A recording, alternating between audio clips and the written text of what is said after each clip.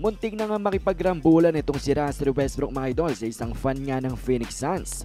Pero bago natin pag-usapan niya na mga idol ay ito muna ang team ng Los Angeles Lakers at ang ilan sa mga history na kanilang ang ginawa this game.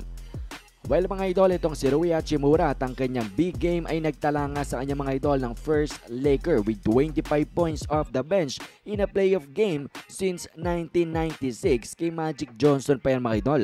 Grabe ang hinalilihan neto nga ni Rui Hachimura. Si Magic Johnson ay kasama niya na nga sa history dito nga sa team ng Los Angeles Lakers.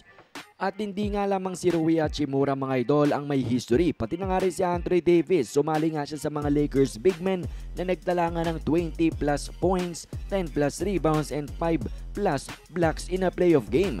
Ang kasama niya dyan mga idol, mga legendary big men ng Lakers ni sila Karim, Shaquille at si Pau Gasol. So talaga namang lumilinya na itong si Andre Davis sa mga Lakers greats bigs. So yan mga idol, patunay lang na isa rin talaga si Andre Davis dito nga sa mga legendary players ng Lakers.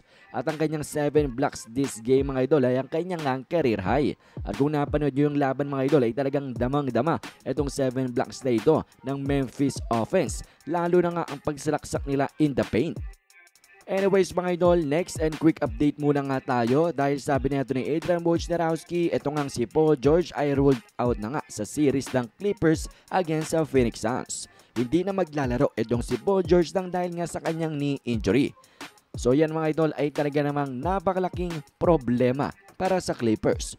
Pero matapos na ang kanilang naging performance ngayon laban sa team ng Phoenix Suns ay medyo hindi na nga nangangamba ito nga mga Clippers fans dito nga sa pagkawala ni Paul George. Sinasabi nila na heal up nga daw. Magpagaling muna si Paul George dahil mukha namang kaya na itong Clippers team ngayon. Ito nga ang team ng Phoenix Suns. At nakita naman natin sa Game 1 mga idol na kaya nga nila tinalo nga nila ito.